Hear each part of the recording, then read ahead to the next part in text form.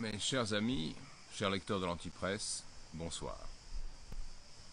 Euh, vous me trouvez, j'espère que le son est bon. Il y a certainement un peu de, friture sur la ligne.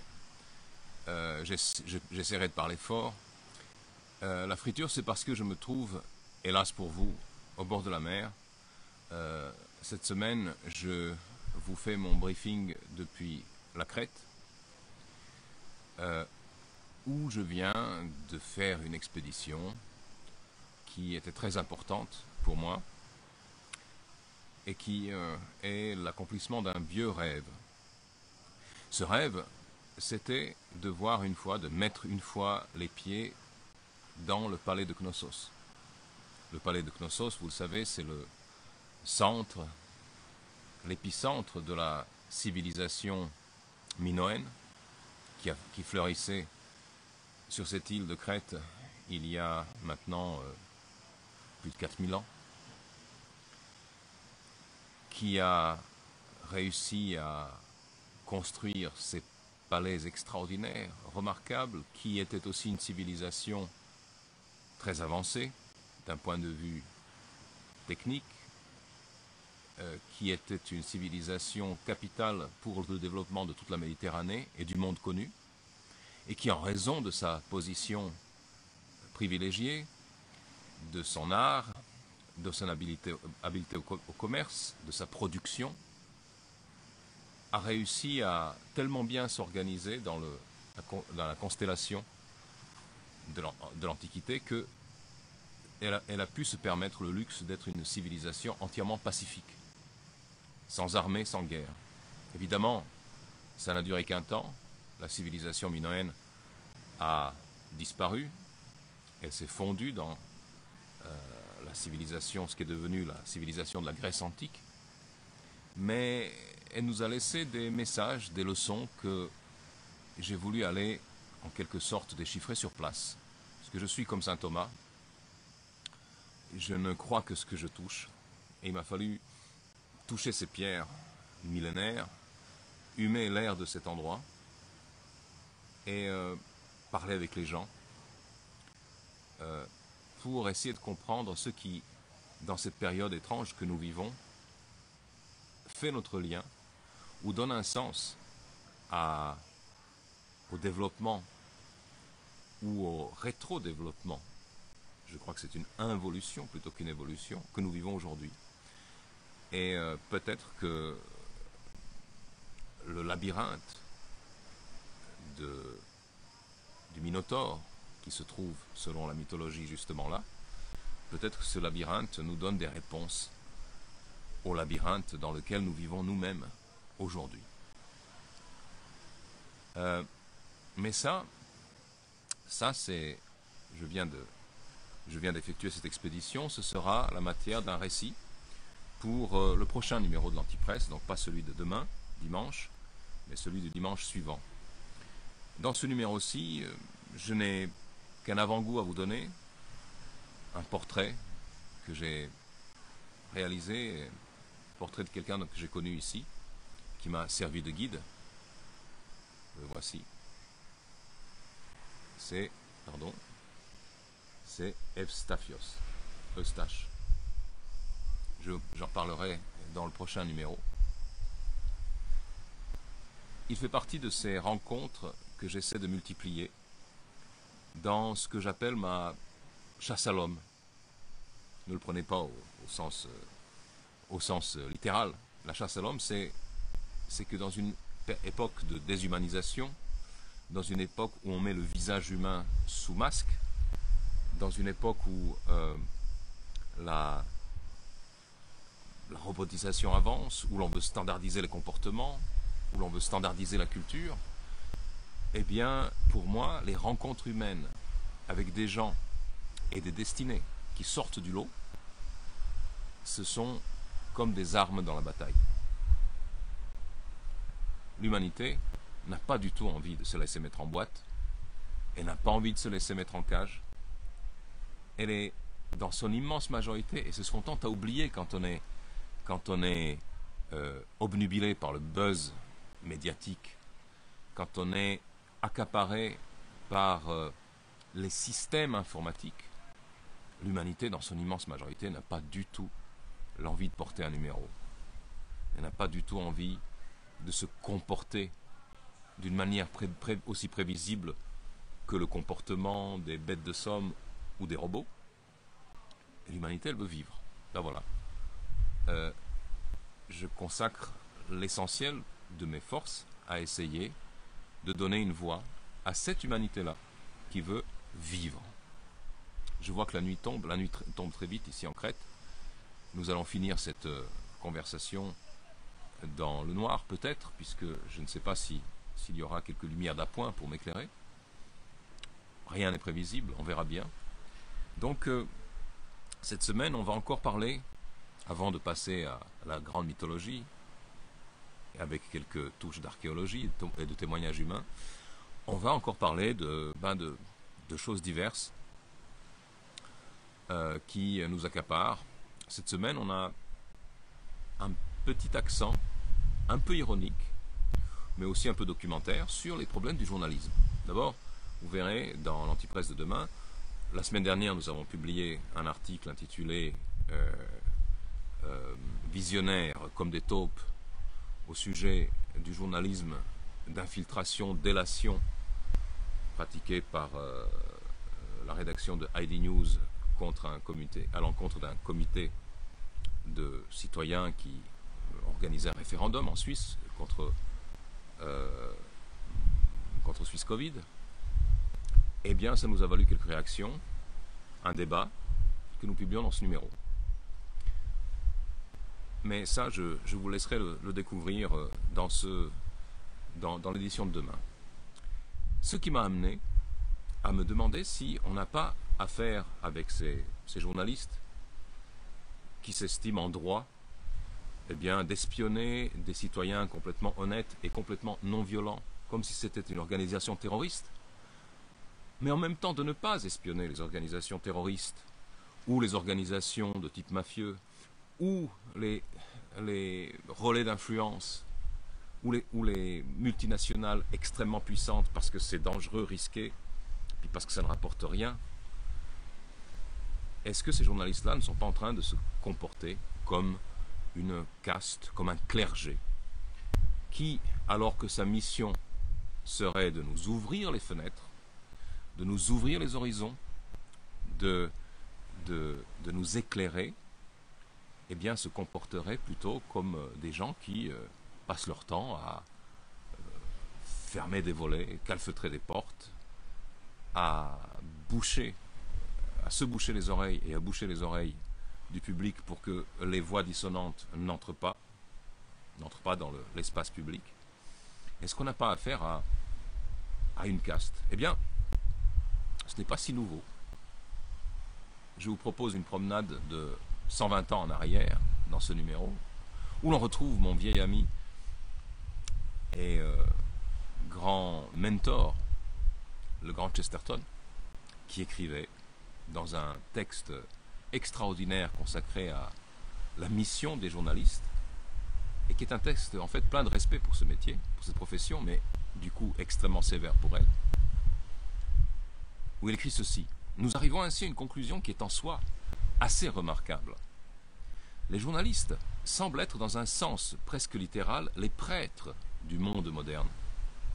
Ils ne sont peut-être pas à la hauteur de l'énorme responsabilité qui fut confiée à Saint Pierre, mais on peut au moins dire que tout ce qu'il lit sur cette terre est lié sur terre, et que tout ce qu'il délie sur cette terre est délié sur terre.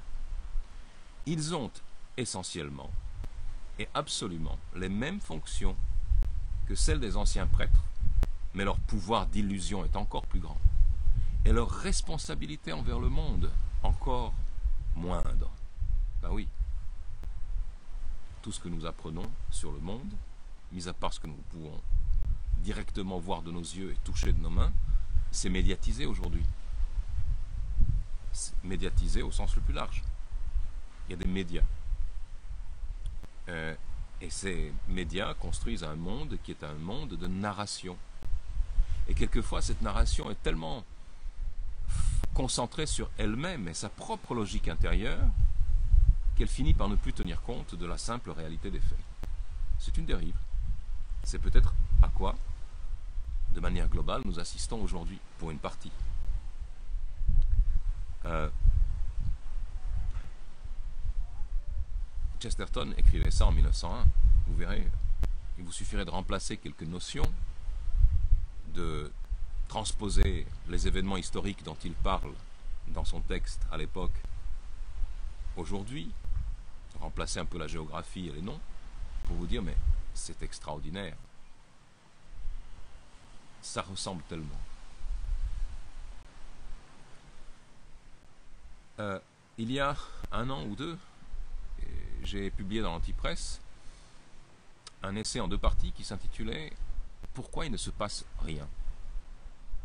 À l'époque, on avait cette impression, et on a toujours cette impression, que au-delà de ce qui se passe, euh, de ce qu'on nous met sous le nez, eh bien, tout le reste est mis sous le boisseau. C'est-à-dire qu'on a l'impression que, comme sur une scène de théâtre, on réussit à vous créer un espace où tout d'un coup les meubles disparaissent, où tout d'un coup les rideaux disparaissent, où vous vous, croyez dans un jardin alors que l'instant d'avant vous étiez ben, dans, un salon, parce que tout simplement quelqu'un joue avec maestria des éclairages et ne veut pas que vous voyez une chose. L'exemple de ceci, le plus frappant, c'est que pendant qu'on parle, qu'on a qu'on parlait ces derniers mois, eh bien, uniquement du problème sanitaire que représente euh, le coronavirus, eh bien, il y a toute une série de sujets qui étaient de, thèmes, et je dirais de narration, puisque tout, est, narré aujourd'hui, toute une série de, de narrations n'avaient pas leur place, on n'en parlait pas. Aujourd'hui, plus personne dans les grands médias ne vous parle du procès absolument ignoble et scandaleux qu'on est en train de faire à Julian Assange, qui est en train d'agoniser littéralement, physiquement, dans sa prison et dans ses comparutions, où, quand il essaie de dire quelque chose de fondamental, tout simplement, la juge le fait taire. Une juge d'ailleurs criblée de conflits d'intérêts. Eh bien, les grands médias qui euh, vous ont tellement bassiné avec l'héroïsme à une époque, hein, l'héroïsme de Julian Assange, aujourd'hui, ne vous disent plus un mot sur ce témoin capital du XXIe siècle. Plus un mot. Le projecteur s'est déplacé sur d'autres sujets. Autre, exemple, en Syrie, plutôt sur le développement, enfin sur la guerre en Syrie, des révélations pleuvent sur les implications des services secrets et des armées de pays d'Occident. Ça ne concerne plus nos médias. On ne va plus vous en parler. Parce que il se discréditerait si l'histoire des gentils révolutionnaires contre le méchant Bachar, qui veulent restaurer la démocratie, en s'alliant un tout petit peu avec Al-Qaïda, peut-être, mais pas tellement. Eh bien, cette histoire-là, si elle tombait, cette narration-là, ce serait encore de nouveau un grand discrédit pour, euh, ben pour la, l'usine à scénario des grands médias. Donc on n'en parle pas. Mais nous en parlons. Il y a une autre chose qui certainement aura étonné nos amis suisses euh, qui nous suivent, c'est que finalement, ces dernières semaines, on a eu des nouvelles qui sont colossales pour euh, l'économie et euh, toute la configuration sociale de ce pays. On nous annonce des grandes fusions. On nous a annoncé la fusion, la, perspective d'une fusion des deux grandes banques, UBS, Crédit Suisse. Puis maintenant, on nous annonce la fusion des deux, du duopole de la grande distribution en Suisse qui sont Migros et Coop. La fusion d'un duopole, ça fait quoi? Ben, Ça fait un monopole. Alors déjà, on a un problème de cartélisation euh, du commerce en Suisse, qu'est-ce que ce sera demain, mais surtout, qu'est-ce que ça implique comme nouvelle stratégie commerciale? Et là, nous avons un article cette semaine qui, à mon avis, est très important, une analyse de Vincent Held sur euh, le remplacement, d'abord, sur le remplacement inévitable ben, des, caissières dans les des, caissières euh, aux caisses par des appareils, de, l'auto, du, scannage. euh, de l'autofacturation, comment, je ne sais même plus comment on l'appelle. Mais qu'est-ce que ça suppose, cette, euh, cette, cette, ce reset technologique dans le domaine de, la grande distribution, des supermarchés ben, Ça suppose qu'on est en train de mettre en place d'extraordinaires structures de, traçage, d'études et de modification de vos comportements de consommation. Et des modifications qui, comme aujourd'hui nous sommes dans un monde qui est dans un, environnement qui est de plus en plus synthétique et intégré, ces, modifications ou ces, ces, analyses de comportement, ce n'est pas simplement dans des perspectives commerciales qu'on les fait. On les fait aussi euh, dans une perspective de rééducation, ayez les bons gestes. Mais en vous apprenant les bons gestes, nous vous apprenons aussi à consommer ce que nous, nous voulons que vous consommiez. Nous vous appelons à penser d'une certaine manière, à vous penser. Nous étudions, nous allons vous étudier pas à pas, et geste par geste, dès que vous entrez dans nos magasins, et même quand vous n'y êtes pas. Par exemple, une entreprise TMI, je cite euh, l'article, qui est très détaillé sur ce point.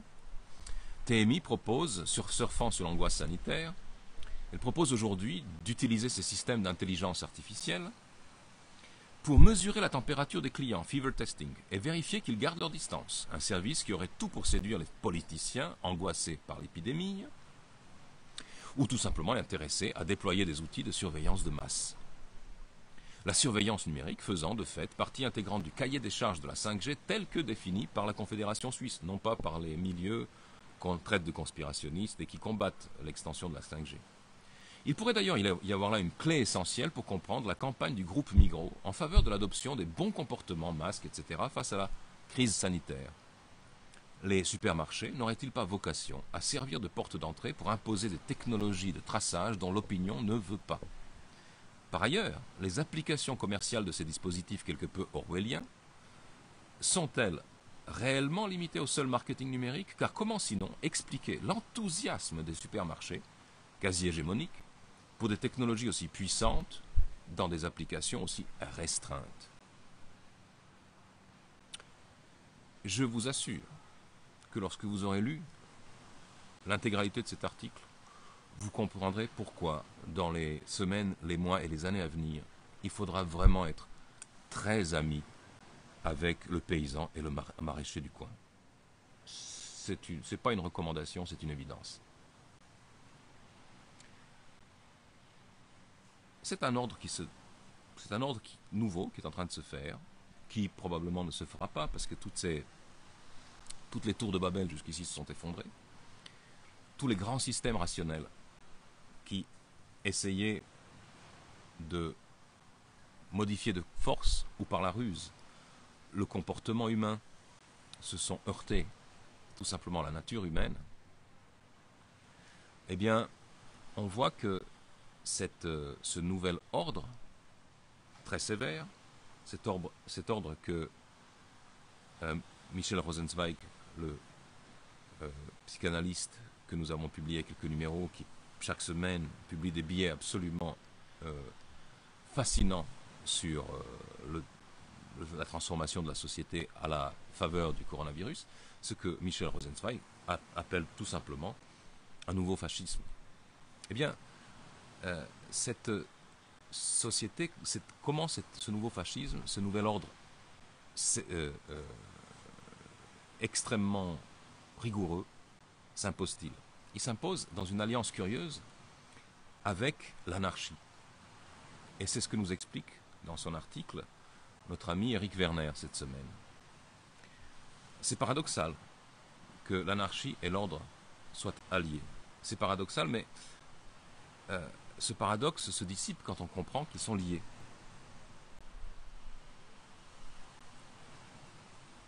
Pourrait même aller plus loin encore, dit Eric Werner. L'ordre et l'anarchie n'existeraient pas l'un sans l'autre. Quant au point d'aboutissement, je cite de nouveau, autrement dit, quant à ceux qui se profilent à l'horizon lorsqu'on imagine l'effondrement, on dira qu'il se caractérise lui aussi par un mélange d'anarchie et de despotisme, à cette différence près que l'anarchie est ici livrée à elle-même. Parce que si ce système n'arrive pas, n'aboutit pas à cet ordre parfait qu'il vise, il provoquera sans doute des dérives que personne ne pourra plus contrôler. D'ailleurs, dans son article, vous verrez, Eric Werner relève quelque chose d'assez troublant, c'est cette, cette montée en puissance des services secrets et peut-être la disparition d'institutions traditionnelles du maintien de l'ordre, qu'il soit légal ou de l'ordre public euh, physique, comme par exemple la, police. Voilà, ce sont, les, grands thèmes de cette antipresse 254 qui de nouveau a été préparée euh, en dislocation, comme euh, le diraient nos amis militaires suisses, c'est-à-dire hors de nos bureaux. Euh, nous continuerons, nous raconterons cette, euh, cette euh, expédition dans le prochain numéro. Dans ce numéro, vous verrez encore beaucoup de choses. Il est de nouveau assez long.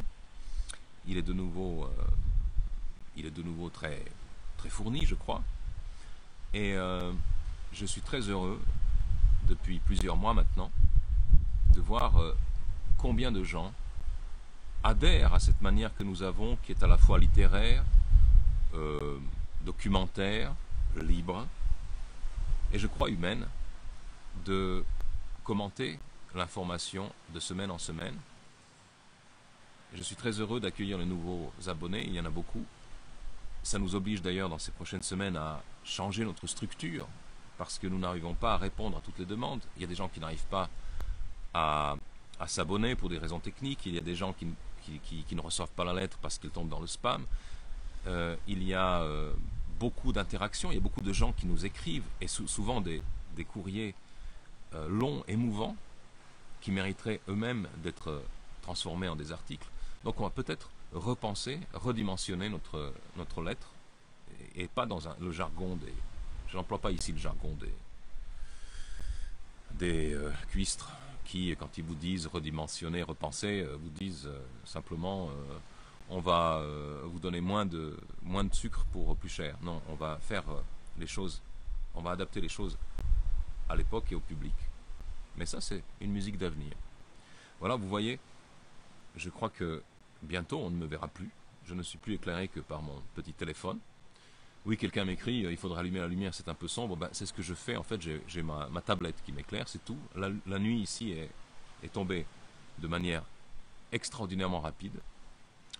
Elle me signale qu'il est temps d'arrêter de, cette diffusion, de vous, euh, de vous saluer, d'attendre vos réactions à l'antipresse de demain, évidemment, et puis de vous dire, comme toujours, lisez-nous, diffusez nos idées, informez vos amis, vos proches de notre existence, de nos articles, de nos points de vue. Abonnez-vous et, euh, et, euh, eh bien étendons cette communauté euh, au-delà des limites géographiques. Ça, c'est au moins un avantage du monde virtuel et de l'Internet. Étendons-la, échangeons des informations. Merci d'ailleurs pour celles que vous m'envoyez.